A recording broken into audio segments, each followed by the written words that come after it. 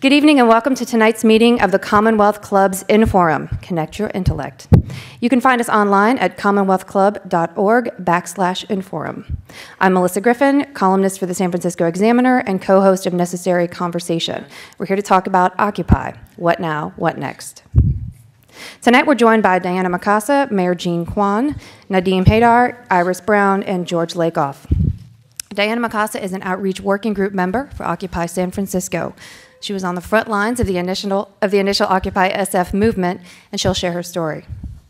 Jean Quan is the mayor of Oakland and will offer her outlook on the movement, its effects on the city of Oakland, and the concerns and decisions that mayors with occupations are facing. Nadim Haidar is a nonviolent direct action, action trainer. He's been part of the Occupy movements across the nation and can provide an in depth look at the actions and impacts of occupiers in Denver, Boulder, Santa Fe, Las Vegas, and Oakland. Iris Brown is one of the organizers of Occupy Oakland. She's been through the police crackdowns, the port marches, and the controversy behind the meaning and definition of nonviolence. Iris is also a member of Occupy Oakland's foreclosure committee. Professor George Lakoff is a cognitive linguist at the, at the University of California, Berkeley. He recently wrote a piece about finding the political path to channel change. We're honored and excited to hear all their perspectives today, so let's get started.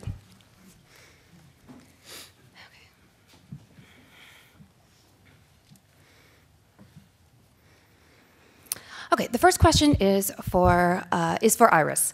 Um, describe your history with Occupy and, uh, and what it means to you. What, what is, in your opinion, the ideology of the movement? So um, I, was, I was first attracted to Occupy just like anybody else. I'd seen a couple of things on the news, and uh, then I started looking at YouTube because I don't usually pay attention to the news. Uh, and uh, I saw these, these videos of these worldwide movements. And then shortly after that, there was a general strike. I work in downtown Oakland, and so my job was closed that day anyway. And so I joined the march.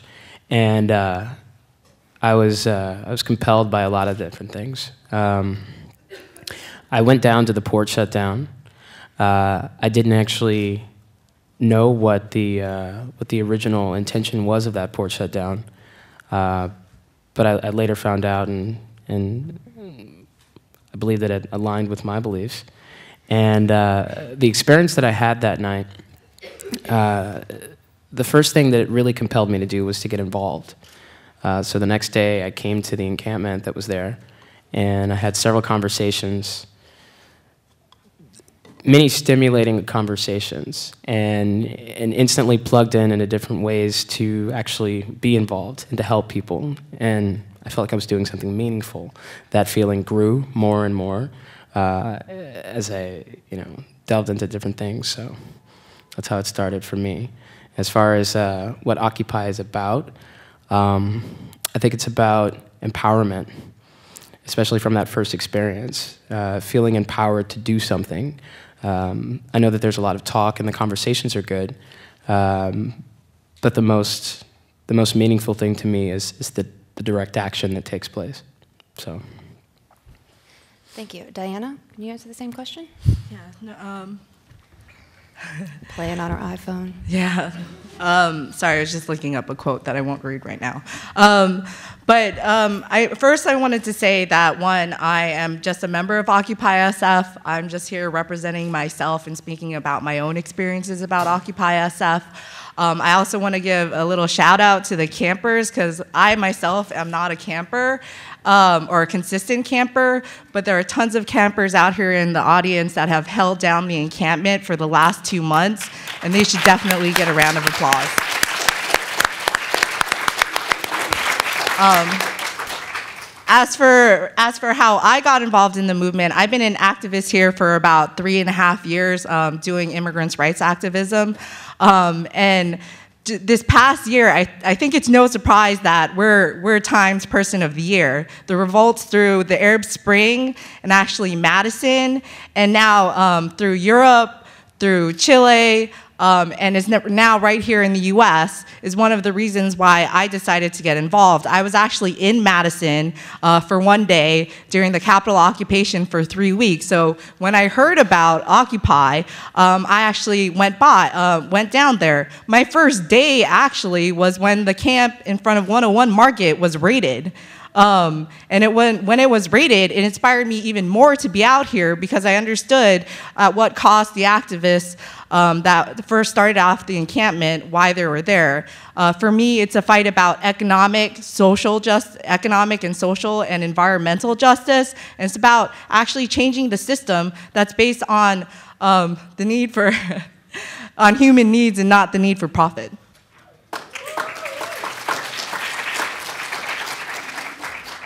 Thank you. Mayor Quan, um, can you describe the, the history of Occupy in Oakland from your perspective, and if that's changed at all over time?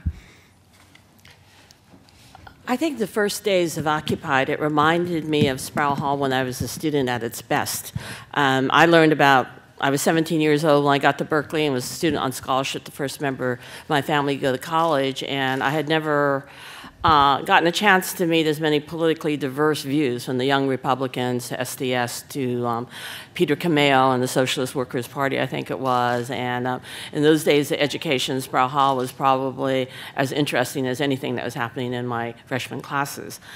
And um, I was also very energized and I was very, very pleased. I think as the week went on, and when we did the, the march, I think MoveOn.org and Labor Movement March to City Hall was like the first time I began to get a little flickering of a little dissent um, that uh, they were forced to use a microphone separate from the camp, and then there's like sort of a split. And I was hearing the rhetoric about, oh, we didn't want those labor bosses to speak or those Democratic hacks or whatever. And I was like, okay, so is this going to be a 99% movement or not?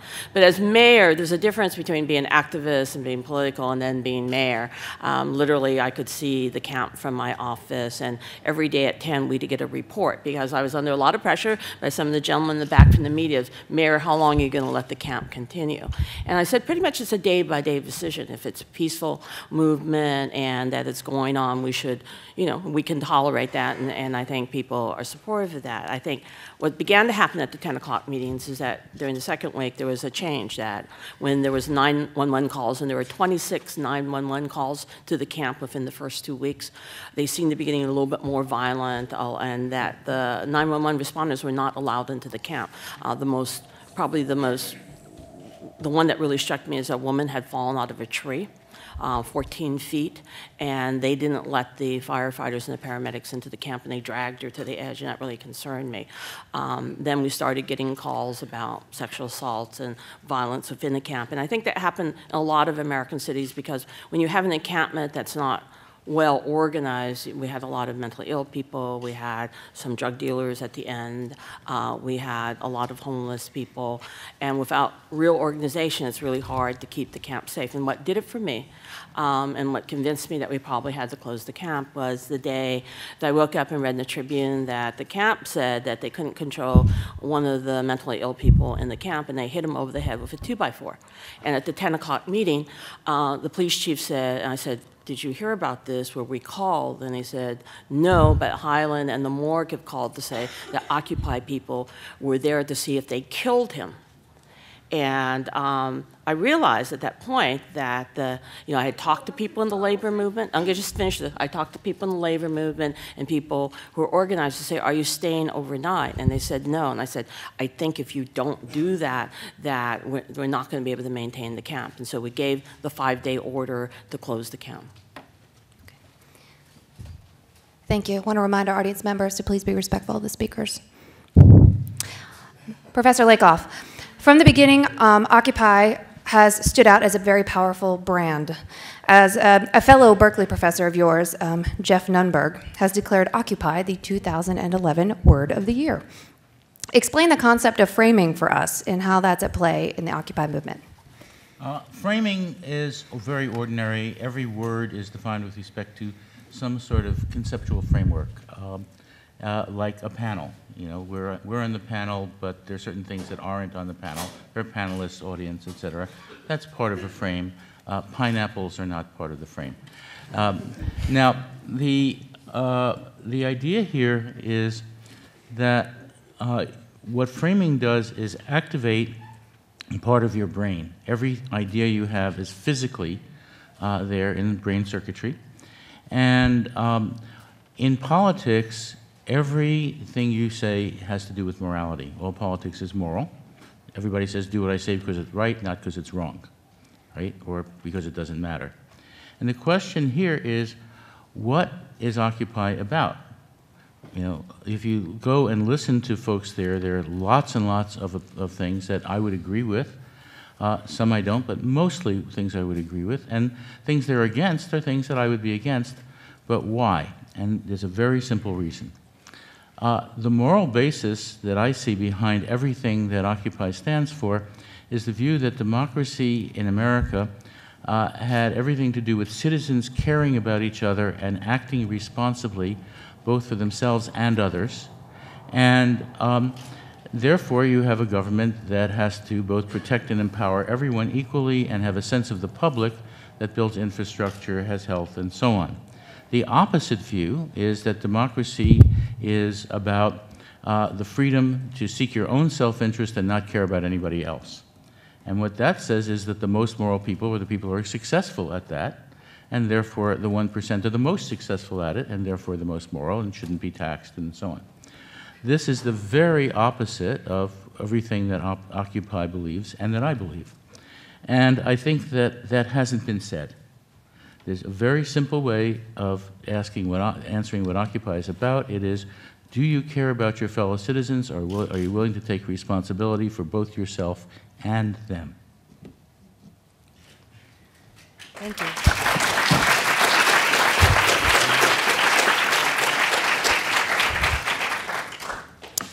Question is for Nadim. You've traveled to a number of Occupy encampments. Tell us what you've observed in terms of language and meaning of the movement. Does it vary? Um, or, and what are the similarities? Well, um, okay, so I've been to Occupy Boulder, Occupy Denver, Occupy Santa Fe, Occupy Vegas, and today Occupy Oakland.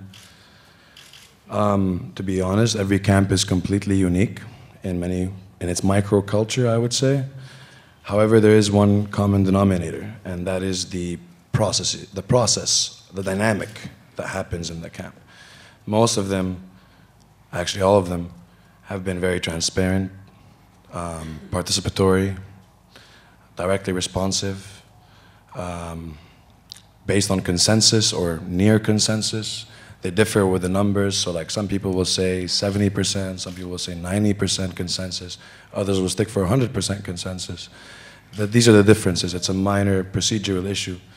Most, however, agree on the basic fundamental values of complete freedom, complete equality, non-hierarchy, anti-authoritarian.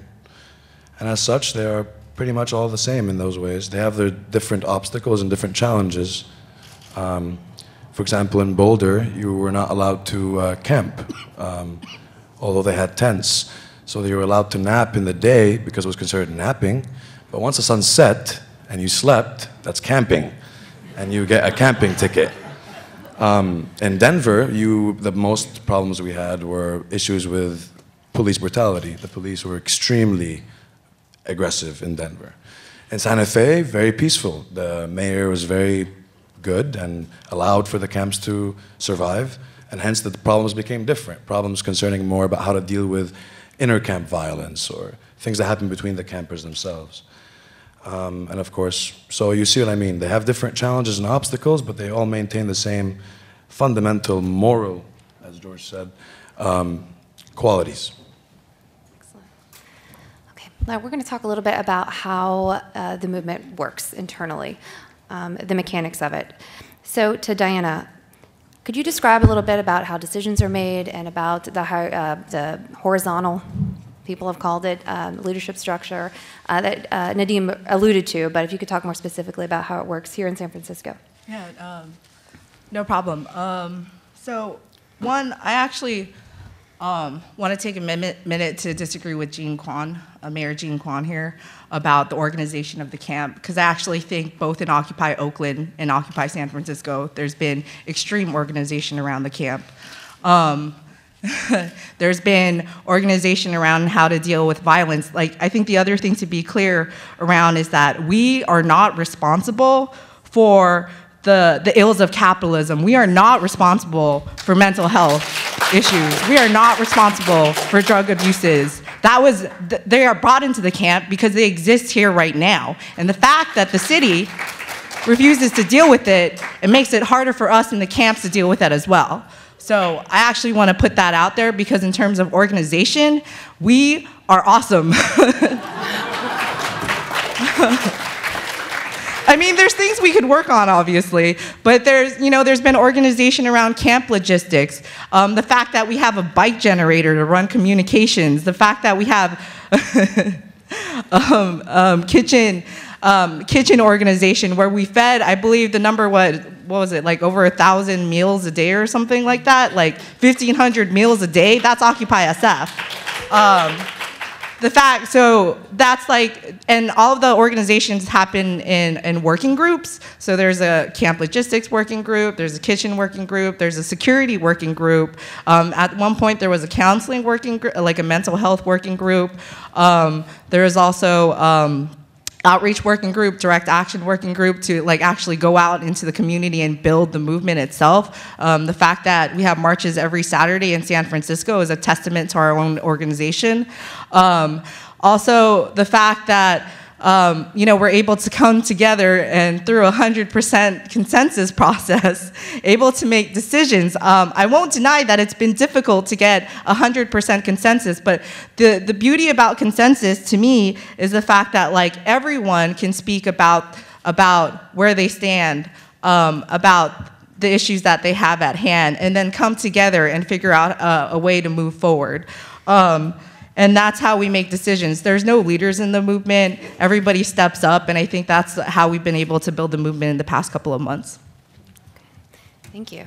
Could I do a quick response? So, uh, I, first of all, I want to say that I think Lakoff and I and other people have said that a lot of the issues of equity and income and taxing the rich would not be on the agenda if it weren't for the movement. And so when we say we support, a lot of us say that we support the movement, that's ex very explicitly what I mean, that um, the whole uh, Jerry Brown's whole initiative now to, to bring back the taxing the highest level um, as well as the sales tax to help the schools probably wouldn't have happened and been political possible without the movement. So, um, but I have to say that because I admire some of the things, and this doesn't movement doesn't mean that all the things that other movements and other people do. So, for instance, Oakland has one of was one of the few cities in the nation last year where our homeless numbers actually went down. We're known for our transitional housing, and particularly working with mentally ill and other people and getting them into single rooms and into jobs and whatever. So while a lot of my friends worked on the homeless program there, they were pretty exhausted and knew that they couldn't substitute for some of the long term work that we do with the homeless and the mentally ill in the city. So I don't think to defend your work that you have to put down our work. Nadim? I would like to respond. Um,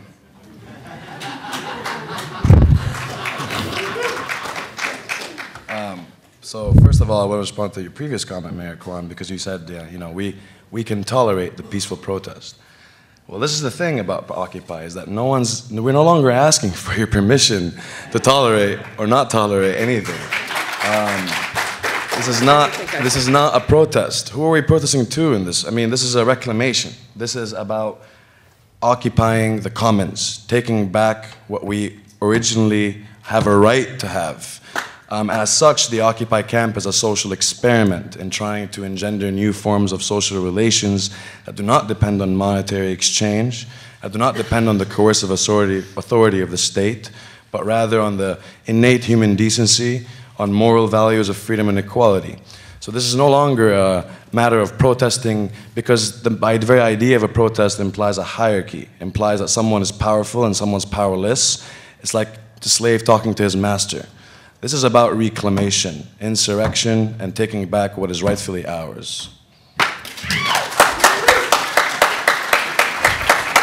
I just want to point out that occupied was uh, Oakland's been occupied by Oaklanders already. So the issue of in the plaza, if we want to talk about the economic impact and, and whatever, I, I particularly tried to get dialogue before the camp was moved for you to talk to the local merchants, to talk to the Chinatown restaurants, for instance, who said they lost 40% of their business during that time, or to talk to the other. Everyone, The please. Chinatown immigrant restaurants are not the rich, and if you can't define the 99% better than that, then that's one of the problems with the movement. Um, I have uh, of several women initiative businesses around the plaza that we really help people to try to open their first businesses. They were being very hard hit, and so I understand it's hard to find a target, but if you don't look at that, you don't see that. Check people when they're lying, and actually, we don't have any statistics to back up the assertions you're making. The local business liaison of Occupy Oakland actually came out with statistics that showed that local community businesses actually went up, actually had revenues go up. Eighty percent. It, de- it depends on who you measure. Okay, everyone. You guys let the speaker speak? Thank you. Everyone. Yes, thank you. We need to get back on track here. Okay. I'd be happy to set up a meeting with the Chinese Chamber. You guys can all discuss this after the panel. Thank you. Mayor Quan will be here. She's got to walk through that way. Okay. Discussing this with Mayor Quan. You're taking her to task when she lied. Full face. Anyone that lies, it's always. The politician. Everyone, we are moving on.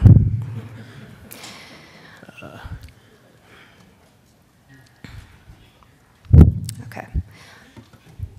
George, um, how is it? How important is it that nonviolence be a part of Occupy? And how Uh, important is the direct democracy structure that uh, Diana described to the movement, in your estimation, in terms of um, labeling and framing the movement itself? Uh, First, I want to thank the people who are in, who are in the encampments. And the reason I want to thank them is that uh, before September 17th, uh, I heard so many people tell me in my presence, why are people not in the streets? Now they are. And because of you, uh, the, frame, the, the 99% versus 1% frame is out there. And it's being discussed for the first time seriously. So thank you. Now, um, the Occupy movement is a moral movement, as Nadim was saying.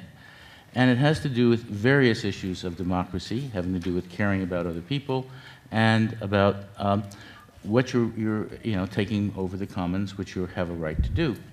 But in, in addition to that, uh, there's something to be considered very seriously, uh, which is what positive things are you doing besides what negative things are you doing? And by the way, that's a positive thing that you're doing, to, you know, just in doing that. But there are other positive things to do, uh, having to do with mortgages and taking, you know, uh, having to do with banks. One can occupy banks, but not pos- not just just stop them, but actually give people information about how to take take their money out of certain banks and put them into credit unions and into banks that serve the, the community. I mean, that is that sort of information should be given out as a positive thing.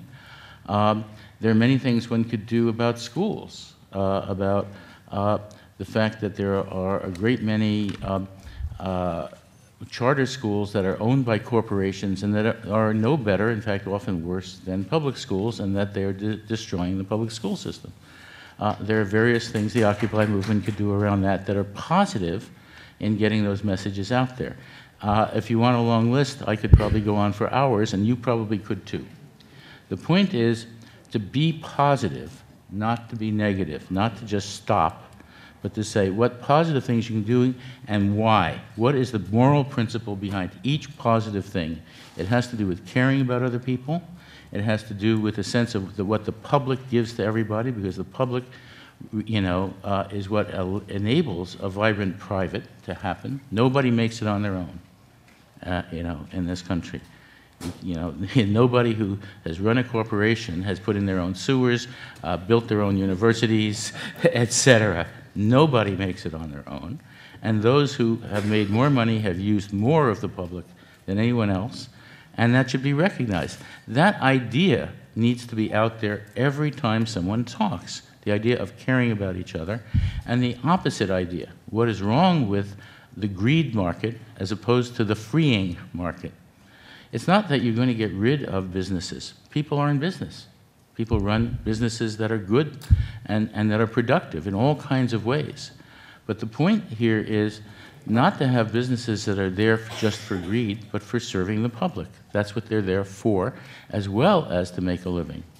And that, that difference between a market that frees people to, take, to, to uh, be uh, productive as opposed to being destructive is very, very important.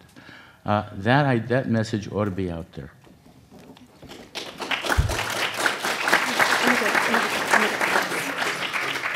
The next question is to Iris and then also to Nadim. Uh, how do you respond to the criticism uh, of the horizontal leadership structure? People have said that without a clear 10 point plan or a president or uh, without a, a hierarchy, um, that, it's, that it's a problem. And they say that that's, that's a weakness of the Occupy movement. How do you respond to those criticisms? I think it's the strength of the Occupy movement. Uh, to have a leader in a, in a movement is to align the 99% with uh, a single idea. I think if we get too too much into the semantics of demands, then we lose the sight of the common goal because we're too busy arguing about how we get there.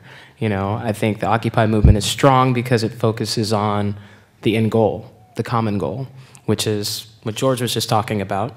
Um, caring for one another in some way or form. We all have different issues and different things that bring us to the movement, and I think the more we disagree, the stronger we are. I would like to res not respond, but maybe add to um, Mr. George's comments. Um, you address the grievances, the multiple grievances, and that's completely correct. One could go on with thousands of lists. This is the, one of the essential qualities of Occupy, is that there are not one demand, but 10,000 demands. Um, as such, taken as a whole, all these grievances implies a fundamental transformation of the entire system which is where I'm going to get to next when George says about taking care of one another and speaking about democracy in its uh, true essence. I think also there's something being left out here completely, which is the issue of capitalism. And the issue of capitalism, by its very definition, I think, is something which does not allow um, people to manifest this new form of transformation of consciousness. So I would say is that when you mentioned businesses, um, businesses that do good, well, we have to remember issues like the priority of profit over everything else. Remember issues like the private ownership of the means of production. Remember issues that even in small businesses, there are relationships of exploitation between the employee and the employer. Now, I speak on behalf of myself, so I'm not speaking as the Occupy movement here when I say these opinions. But in essence, I am just simply building on George's comments and saying that this is these are the very critiques that the left has posed against capitalism in general. And they've been saying that capitalism does not allow for, the pe for people to help each other out in such a way, that capitalism has in inherently exploitative structures and must be dismantled in order to see a new system. As such, these, these, these grievances, these thousands of grievances, from the environment to healthcare to foreclosures, unemployed, war, um, I think have to be addressed through a critique, a radical critique, and also of capitalism, and also through uh, providing living, concrete examples of what could be. And that's the whole point of the Occupy camp, is that we are showing people that this could be different. And it's, as such, a social experiment in trying to show people that we can have different forms of social relations that go beyond capitalism, that go beyond state authority, that don't have to depend on exploitation or hierarchy or coercive authority of anyone, but rather on the complete freedom and equal participation of every member of the community. Um, If I could go back to the issue of violence, I thought you were going to go into that issue a little bit deeper. We are going to, but thank you. I think that that violence and the nonviolent proclamation by the national movement is absolutely critical. At something that we didn't get in Oakland in the camp. When the motion went up to be nonviolent, they couldn't get 90% around that. And why I think, if, uh, Everyone? I- I'll, fi- I'll finish this thought very quickly. If, if you're going to um, put yourself in the middle of somebody's city, um, in the space that's really sort of known as everybody's space, where every group comes, it's sort of our Please Hall, let her finish. And then not let other people use it, and then not take a proclam- and then not take a proclamation, then not pass your own resolution to be nonviolent. It is one of the reasons the Occupy Oakland has sort of split into these two groups: Occupy Oakland and the 99 percent. And I think that that is an issue across the country that other cities people are looking at. And so the question is, how do you how do you move forward? How do we keep the ideas in terms of more economic equality? Um, because in Oakland, a very small group of violent people and uh, were able to, on the day you had the general strike, which was fairly peaceful the entire day, very peaceful the entire day, and that I knew hundreds of people who worked to keep it peaceful. What the nation saw was the few seconds where a group of anarchists, a very small group, broke into buildings, started setting fires, and that's all the nation saw of a very peaceful day, or of the windows at Whole Foods. Everyone, you will have time to ask questions. It- Sorry, Mayor Quan. Sorry, Mayor Quan. That's a misrepresentation. That's a misrepresentation. Anarchism in all its forms. Anarchism in all its forms. The only reason. The only reason. That nonviolence proposal dis- didn't pass. That nonviolence proposal didn't pass. Is because it generated a beautiful community discussion. It's because generated a beautiful community discussion. That discussion is ongoing. That discussion is ongoing. We unfortunately. What are you gonna do? You know, you just go with it. It's mic check. Do not have the apparatus of state violence that you call the Oakland PD. Do not have the apparatus of state violence that you call the Oakland PD. To brutalize our citizens. To brutalize our citizens. Like Oscar Grant. Like Oscar Grant. Like Scott Olsen. Like Scott Olsen. Like myself. Like myself. And like many other peaceful protesters. Like many other peaceful protesters. Have you been occupying? Occupying. Oakland.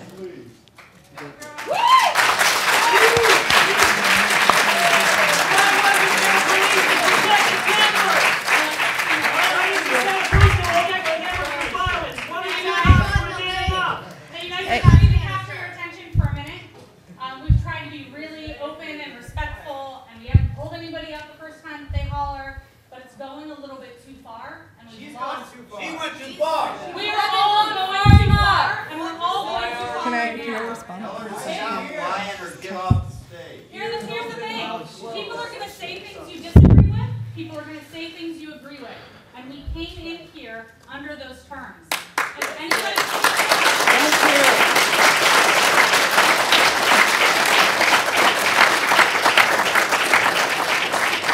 If anyone else stands and speaks out or interrupts the forum, they are going to be asked to leave. We are here for an open dialogue. We will continue this discussion after the panel, and it's time to get back to it now.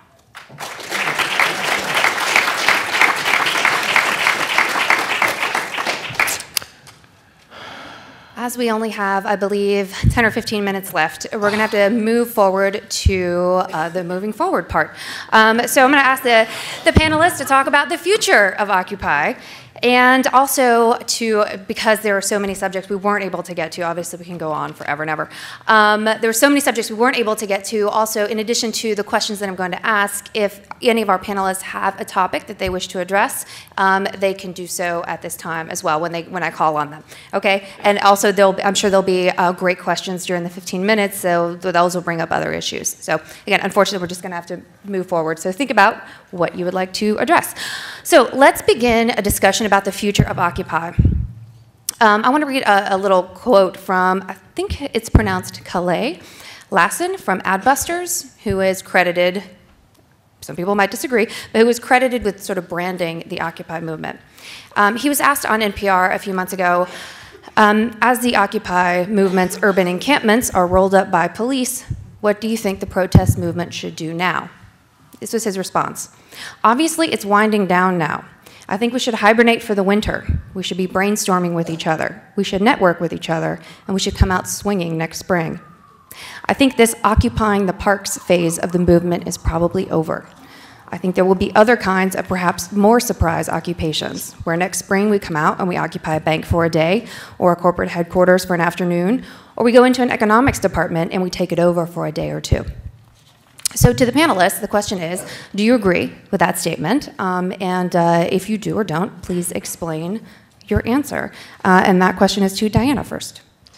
Um, so, one specifically, I do want to address the violence question that Jean Quan put out there. The reality of it is, is that the encampments have been brutalized. That people, that hundreds of arrests in Occupy Oakland and Occupy San Francisco have occurred in the past few months. I was there when the tear gas happened that actually led to the vote on the general strike, and that was a scary, scary moment. I thought moment. I thought to myself, I'm out here peacefully protesting for a cause that I actually believe in, and why am I being attacked by the police? I'm tired of seeing my brothers and sisters in Occupy SF being bruised, brutally bruised by the cops for something that we're trying to do. We're just trying to change the world for the better for a better place. That's all we're trying to do. Um, the other thing that I wanted to talk about is the port shutdown because I do want to diffuse any myths out there uh, that the media is spreading about us being economic terrorists. The true economic terrorist is the one percent. They have the the reason that um, the reason that this movement exists, or the, ter the term that's coined is we are the 99%, is because the 1% has 43% of the wealth. And we actually make that wealth. We're the ones responsible for their profit. So we shut down the uh, ports, one, because we have been heavily repressed in these past in this past month or so. But the second reason is because we're in solidarity with the ILWU workers that are being union busted in EGT, as well as the unorganized truckers in LA that were fired because they were wearing Teamster shirts. Like, I think we should make that clear that the reason why we shut down the ports is because they're being attacked. So, as the labor saying goes, an injury to one is an injury to all. Um, So I actually, I did, I did want to talk about. Um, I, I'm sorry we didn't get to talk about the port shutdown because Occupy Oakland did an amazing job. They went out, flyered every single morning to the ports to make sure to make sure we had rank and filer support. Their rank and filer is part of the organizing as well to shut down the ports. So the people that say that we didn't have worker support on that day, that's all lies. Um, the other thing that I wanted to say in terms of like where the movement is going, this question between violence and nonviolent tactics, we're going out there to defend foreclosures. Like the reality, reality of it is, we might have to bust open a lock to make sure that a family or a grandmother or whoever can move into their homes and we can defend their home properly. Because guess what? They were put into this mess by the banks and not us. This movement has many directions. Um, we're going to be doing foreclosure actions. We are not going to be shutting down in the in the in the winter. We're actually going to have major actions on the 20th. We're going to be going to Sacramento on the in the first and the fifth, and we're going to continue organizing because the, our end goal is to make this a better world that is based for on human needs and pro, not profit.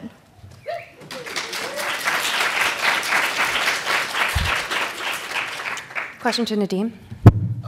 Just to add to Diana before I address uh, the Adbusters issue, um, you know, speaking about economic violence, well, let me remind you about some facts. You know, not controversial facts, facts given by the UN. Yeah.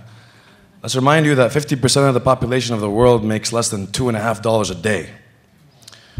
Let's remind you that the top 2% of the world's population control 40% of the wealth. That's economic violence. All right? So let's put that question aside. Um, and this is why we're protesting in the first place. Um, concerning the Adbusters issue, um, actually, I actually do agree. Um, I've been to the past four camps, and let me tell you, it's really cold. It's really, really, really cold, okay? People are mostly concerned with keeping warm and, and keep getting food and shelter. Even, even, you know, myself, I was not even able to read a book. You know, I wasn't even able to concentrate because of the cold I had to face.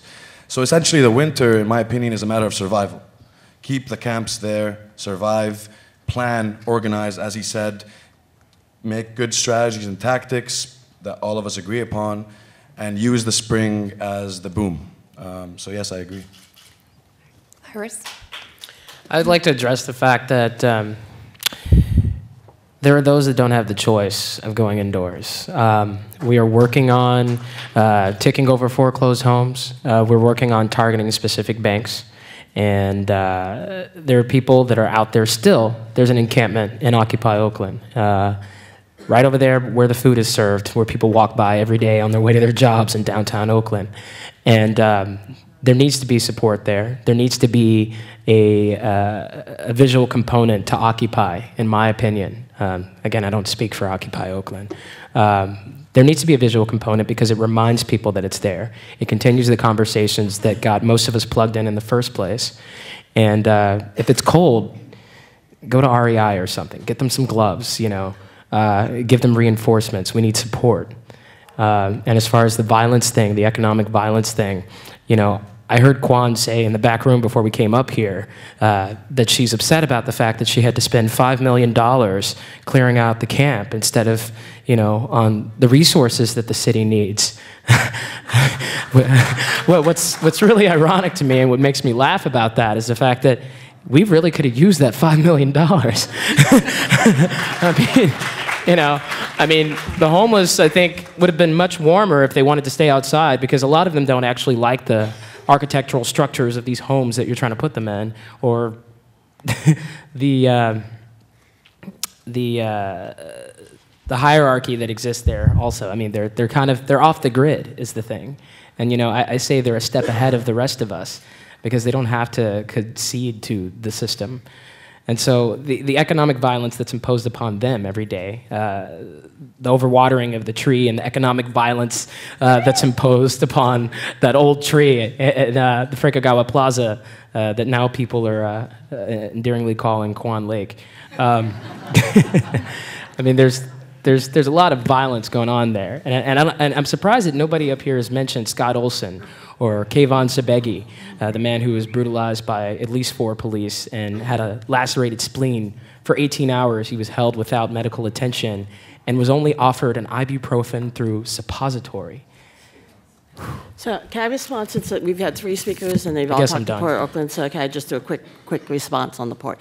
So first of all, I see Scott Olsen, and I have to tell you, um, I was the first person who, um, when as soon as I got back from Washington off the plane and heard it and saw the video, and Scott, um, I immediately asked uh, the video. I didn't know who he was then. I automatically asked for investigation.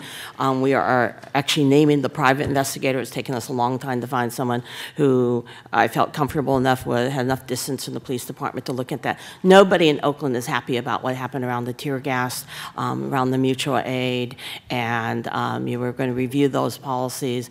Um, I've been working with Judge Henderson to try to deal with the civil rights violations in Oakland for a long time that go back to the Black Panthers. Um, this is a very um, tough thing for me to do as mayor, to, to um, deal with trying to make sure that we have public safety, but also make sure that the civil rights of the people in my community are, are recognized. On the economic impact, the Port of Oakland actually belongs to the people of Oakland. And this is a city owned port.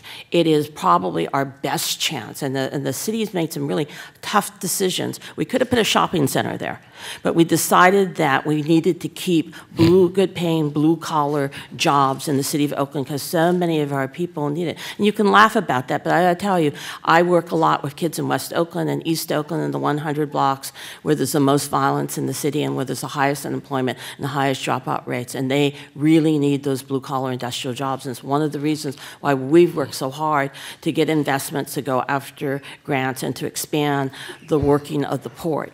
And yes, some longshoremen make $150,000 a day, but there are a lot of people in the hiring hall. And quite frankly, when we have shutdowns like this, ships get diverted, there's less work.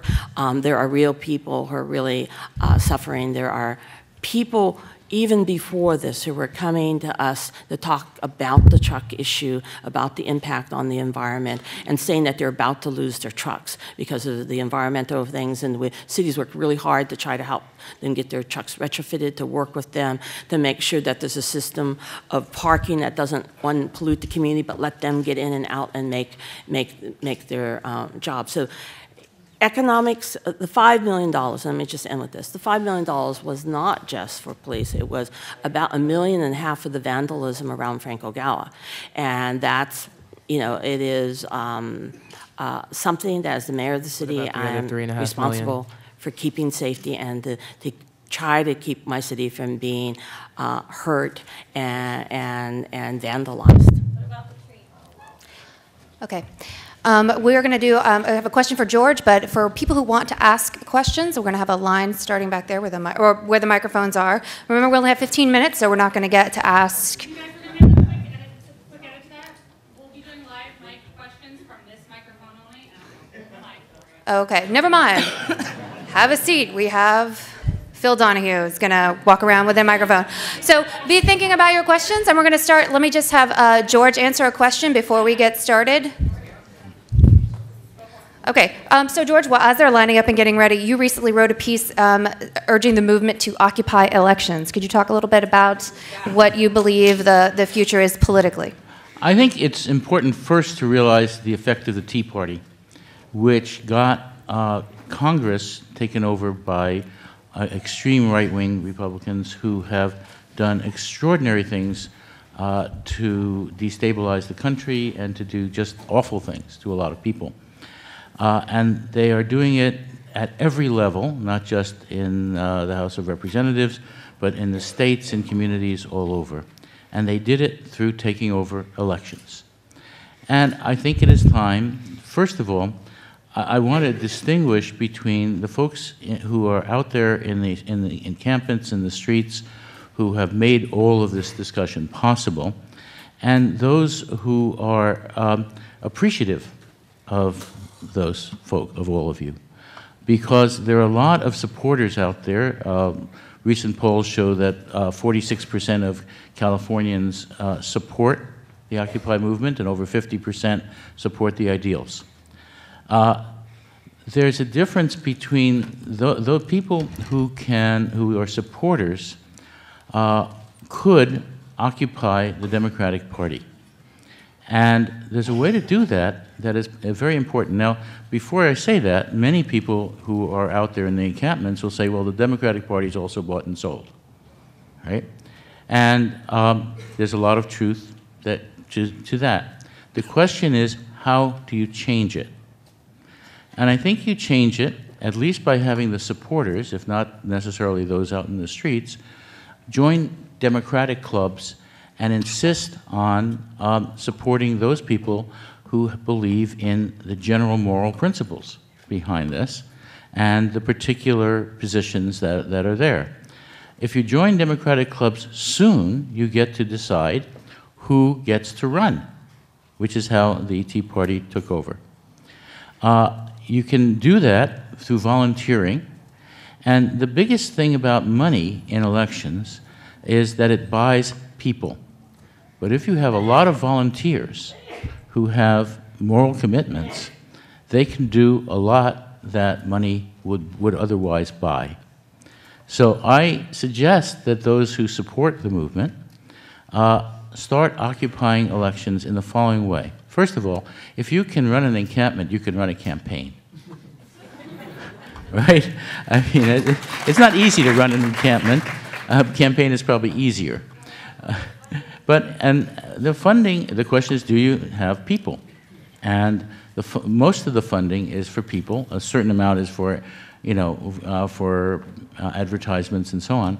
But a lot of it is just to hire people.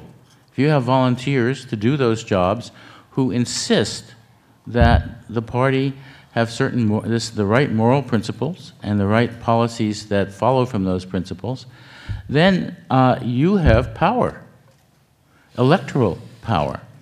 And what, what can you do? You can not just um, support the people who you don't believe in, support the people only that you believe in.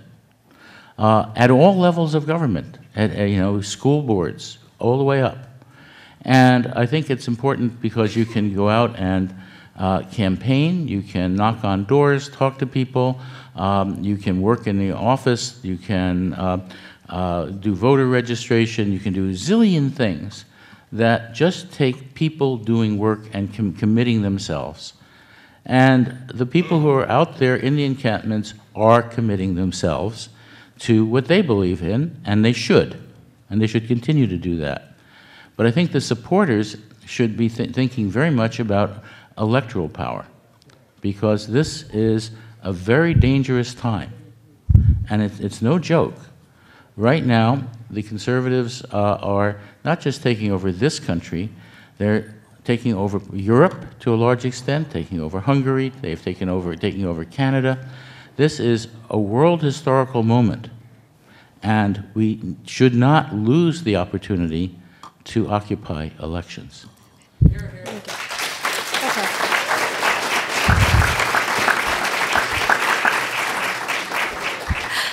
Okay, now we're going to move on to audience questions. I'm sorry, we- I know Nadim, I know you had a comment, but we're going to have to, maybe you can work it into an answer. Uh, So we're going to move on to audience questions. Caroline? I'm going to lay out the rules of the game real quick. There are a ton of people who want to ask questions, and I want everyone to get the chance to do that. We do not have a lot of time to do that. I'm going to hold the microphone if this person, any person, does not ask a question, if this person makes a statement. If the crowd answers the question, those people who are answering the question will be asked out. If this is not a question, I will take the mic down. This person will be asked out. We're going to start. Uh, this question is for Jean Quan. Um, you described the December 12th march as economic violence.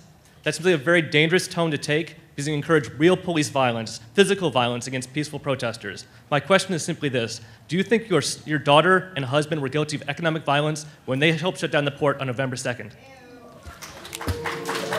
Actually, Lailan was not in the demonstration hall. She was working all day, but my husband was one of 200 community monitors that we'd help mobilize from labor and the community because there's the Black Bloc group within a lot of demonstrations in the Bay Area whose main political task seems to be either to break windows in our city and vandalize buildings and or the fight with the cops. So no, my husband, it is part of the Bay Area. You need to know the Bay Area a little bit and, and demonstrators. And we had the problem in Meserly. They had it in the World Trade Organization here. It is a very organized group. And, you know, a lot of Oaklanders are not happy about that. And, and my husband and 100 labor monitors were part of that to try to protect our buildings, to try to make sure that there wasn't violence so that it would not actually affect the, the world perception of what was happening there. So uh, my husband's my husband has his own politics, but we've been political activists since we were teenagers. Uh, you can respect that or not. Hi, my name is Tim. Uh, this question goes to George Lakoff. Uh, as a former student of yours at Berkeley, you've talked a lot about uh, the power of words to include people and uh, increase a message or uh, accelerate it. Um, I would like to see you address one of the big um, failings that I see in the Occupy movement, which is the ability to include more of the 99%, like my parents who are immigrants, who live in Santa Cruz, who've spoken with the Occupy people in Santa Cruz, and they're scared with it because they're barely trying to make ends meet, and they see that as a, a risk to them to be able to actually make a living. So thus, they don't ally themselves with the Occupy movement because they see it as a threat to just being able to make ends meet. So can you uh, address that kind of gap between the rest of the 99% outside of California or outside the major cities and the middle of America who could get this message? First of all, um, I'm sure that the folks in the Occupy movement don't all have the, the same opinions. Uh, I suspect that there's a variety, there are a lot of variety of opinions. And the Occupy movement is not just the folks in the encampment, there are people who are supporters all around. One of the questions that has been raised, uh, and uh, Nadim raised it, uh, is the question of uh, capitalism. Now, there are very different forms of market uh, arrangements. Uh, among them, uh, views of the market that say that markets should uh, be there to help people as well as to allow people to make a living. And right now, we're not going to be transforming a lot of this country immediately by next week or next year or five years from now uh, into something that doesn't have people running businesses trying to make a living. So the question is when people who are honest, who are actually trying to do something for their community while making a living, uh, and are part of the 99% and often the lower part of that 99%, they should be respected. And they, um, you know, they should be understood as being uh, supporters. They probably do support the idea. And there's a very important idea that needs to be brought up people will ask, what's wrong with people making millions of dollars? What's wrong with the people being in the 1% or the top 10, one tenth of 1%? And the answer to that is they control scarce resources, political resources, they have access, educational resources, uh, all sorts of you know, land and so on. It's an unfair division of resources which are really part of the public, part of what we all own, but and which we give to people so that they can have small businesses, so they can make a living. And uh, I think very strongly we need to distinguish between um, greed capitalism, where, where you just are out for the money, and a form of markets that have to do with freeing people in their lives to make an honest living uh, in a way that helps themselves and the community and never hurts anybody. I also believe, uh, thank you. I believe that uh, Diana and Iris also would like to weigh in on that, on that question. Before we jump in there, I just want to invite the speakers with the consideration of how many questions to have short answers, short questions. Go back to you. Right. Okay, so Diana and Iris, if you guys could each address this, but in a timely fashion, that'd be great. Um, I'll be really quick. Um, so I'm with Occupy SF Outreach, and basically, our like we want to include as many of the 99% as possible. That's what's going to actually make this movement grow and actually move forward. Um, so one of the things that we're planning on doing is community forums in the different neighborhoods. And as an immigrants' rights activist, I actually planned a couple um, uh, a month ago an immigrants' rights march with Occupy SF, with the Day Laborers Program, and the Women's Collective of La Raza Centro Legal. Um, we've had human rights marches. We have we have an anti-war march coming up on Saturday. We're trying to include as many of the 99% as possible. And right now, um, that marches are the few ways that we're going to do it. But we're going to go back into communities and hear what they want, where they want the Occupy movement to go. Okay, I just wanted to address what you were saying about the elections. I know that that's not the question that was just asked. Um, but you're saying that you want it to be inclusive of the 99%, but I don't think that's possible when you have a power position uh, as such. You know, uh, you're talking about reforming capitalism, but I think that as a whole, many of us that are involved in this movement don't like capitalism or, or, or don't feel that, you know, it, it, it supports anything but another ol- oligarchy. Um, and so I have to say that, that respectfully, I, I think you're missing the point.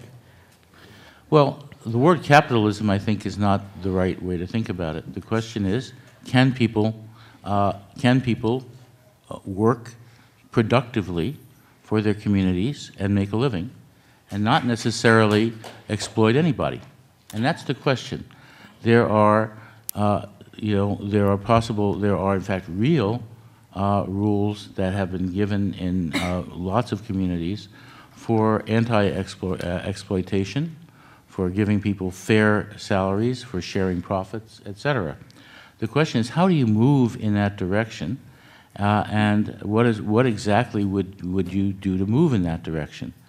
Uh, I think any move in that direction is positive, and I think it's uh, that the Occupy movement not necessarily those who are in the encampments, the people supporting him, who are largely people who work in businesses, who are trying to do something productive with their lives and help their communities. Okay, and actually- who are part of that, those people should We be have there. five minutes left and we want to try to get to some other questions, so if we could. So make your questions short and your answers short, and I don't know that we'll get to the end.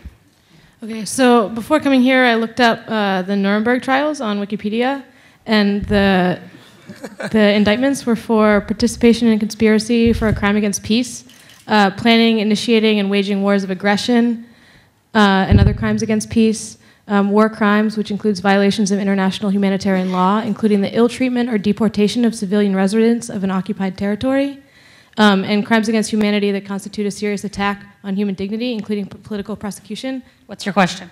So I'm curious, as far as the future of the Occupy movement and what we're going to focus on as we move forward, um, what are some ways, and I'm specifically asking Diana, Iris, and Nadim, what are some ways that you think that we can incorporate this dialogue into a sort of broader discourse with the American public to let them know that um, we actually think that what's happening now is very serious and um, we are living in 1984.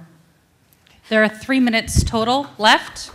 You get to choose whether you take it to answer or let another question happen. Two. Um, I could take the question. Why don't- why don't you answer? Um, you know, on this issue, I take the Chomskyan attitude. Um, Chomsky, for since his early years, has always defended anarchism. This is a man I think you all know.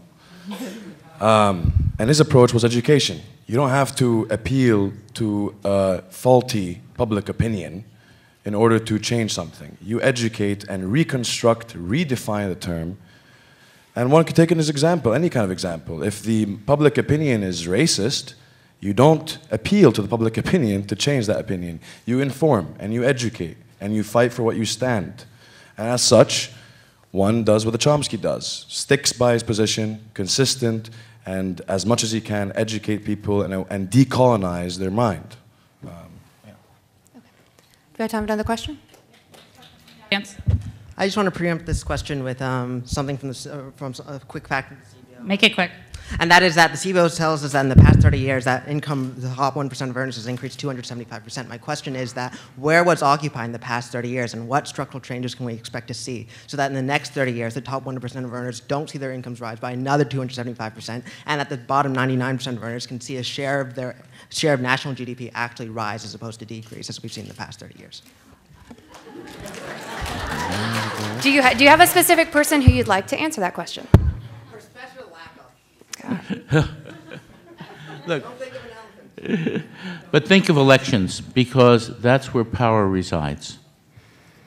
Think of elections because that's where power resides. And if you don't, the right wing will think of elections because they've been doing it. It's a very dangerous time right now.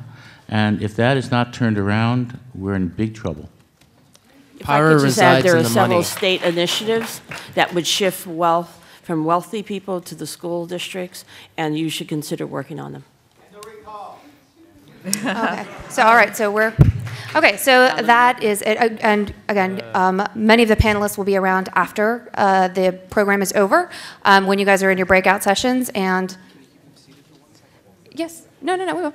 Um, So uh, before we go, though, we have, uh, there is a question that we always ask at the end of every Inforum program. Um, And so we'll just start down the road, we'll start with Diana and go all the way down to Professor Lakoff. Um, The question is, what is your 60-second idea to change the world? Diana. Really quick, get involved in the Occupy movement. Like short and simple. Awesome. Mayor Quan. I've worked on a lot of uh, movements over the years. What I'm focused on right now is to try to break the cycle of violence and poverty in my city. So I'm Everyone, I'm, focu- I'm focusing on 60 seconds. You can do it. I'm focusing on 100 blocks where um, most of the murders, where most of the dropouts, et cetera, are happening. So we're putting in the most resources, whether it's jobs, whether it's mentors, whether it's the Christmas toy drive, whether it's police officers walking kids to school. Um, we are organizing people in the neighborhoods to get more involved in the community councils. That's democracy at the bottom in our city and letting them have more control over decisions on city resources in their neighborhoods. Okay. Okay. Next, Nadim. Um, honestly, I would say the most important thing you need to do is dismantle all forms of illegitimate authority. Authority based on violence, authority based on unjustified premises, and to do it out of love, not out of revenge or not out of seeking to hurt people. I think some of the bases have already been covered, so I'm just going to say what I think uh, would change the world is if uh, many of you, if not all of you, go to the Oscar Grant Plaza tonight or sometime this week and bring warm clothing and food and coffee. Uh, I want to switch a little bit. The, uh, one of the things that linguists learn is that every language in the world has in its grammar the ability to talk about direct causation, and no language has in its grammar the ability to talk about systemic causation. Yet all of, the, all of ecology is systemic, and all of the economic system is systemic. It goes across categories. And systems have certain properties. They're homeostatic, self-correcting. They have positive and negative feedback. They have uh, multiple causes. They have uh, causes at a distance. They cross categorization, and so on. We need to understand how systems work. We need to understand it for the sake of understanding the, the, the history, the, the, the fate of our planet and the fate of our economy. And also the fate of our politics, because that is also a system. Thank you very much. Everyone, please give our panelists all a big round of applause for being here.